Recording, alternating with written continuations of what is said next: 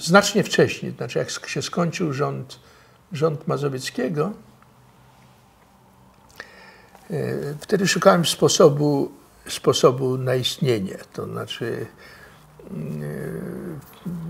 i, i wtedy, wtedy przyjaciel powiedział mi, powiedział mi po raz pierwszy o, o fundacji Stefana Batorego. I powiedział, że może, może ty byś mógł pokierować i wtedy to by ci stwarzało możliwości e, życia równocześnie w Polsce i we Francji, kursowania między Polską i Francją, kontynuowania e, akademickiej kariery we Francji i równocześnie e, uczestniczenia w życiu publicznym Polsce. No i rzeczywiście i, i e, zwróciłem się do e, Szorosza, e, żeby mnie przyjął zaakceptował. Pojechałem do niego do Londynu. On ma taki domek, który z zewnątrz wygląda skromnie, jak to w Londynie, natomiast jest potężny i przed tym domem, nie pamiętam gdzie to jest, taki duży plac, ogród, ogrodzony. To był jego ogród i po prostu on wziął klucze, otworzył i chodziliśmy po tym. To był jego prywatny ogród na jednym wielkim placu londyńskim, prawda? No i wtedy ja powiedziałem, tak dość tak żartobliwie, dość, cynicznie, dość cynicznie, I would like to take care of your money in Poland.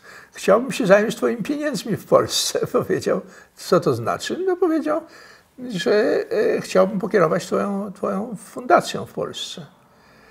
Mm, e, myśmy się bardzo mgliście przedtem znali, spotykałem go parokrotnie na konferencjach, ale właściwie mogę powiedzieć, że go nie znałem. No, po rozmowie on szybko zrozumiał, o co mu chodzi, bo ja nie ukrywałem, że to jest też sposób, że to jest dla mnie sposób na, na istnienie równocześnie w dwóch krajach i, i na istnienie z rodziną i równocześnie z Polską, czy też w Polsce, prawda? Mm, e, to on mi zapytał, a co ja będę miał z tego? Jak ja mu powiedziałem, że chciałbym się zająć twoimi pieniędzmi. No to ja mu wtedy przedstawiłem program, co ja bym zrobił z tą fundacją.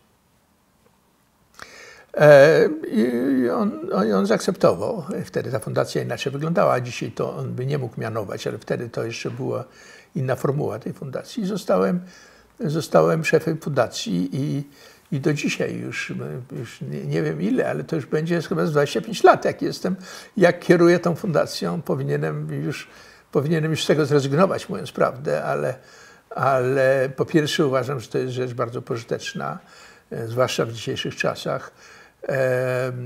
Po drugie, e, po drugie ten, e, ja bym nie mógł żyć tylko w Polsce.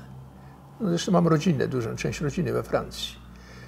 E, ale też nie mógłbym żyć we Francji. To znaczy, gdybym żył tylko we Francji, to miałbym takie emerytalną świadomość, nie mówiąc o tym, że rzeczy, które mnie pasjonują, byłyby, byłyby odległe, prawda?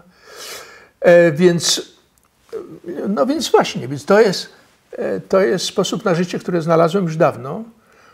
E, to nie jest oczywiście całe moje życie, ale jestem prezesem. To, to, to, to oczywiście nie oznacza codziennych obowiązków. Ja nie kieruję fundacją na co dzień, prawda? Jest dyrektor fundacji, są inni ludzie, ale, że tak powiem, decyzje strategiczne, tudzież wtedy, kiedy jestem w Warszawie, to, to tam jest moje zaplecze i wtedy, kiedy e, są jakieś problemy, przy których mogę być pomocny, to wtedy, e, to wtedy biorę, biorę w tym udział.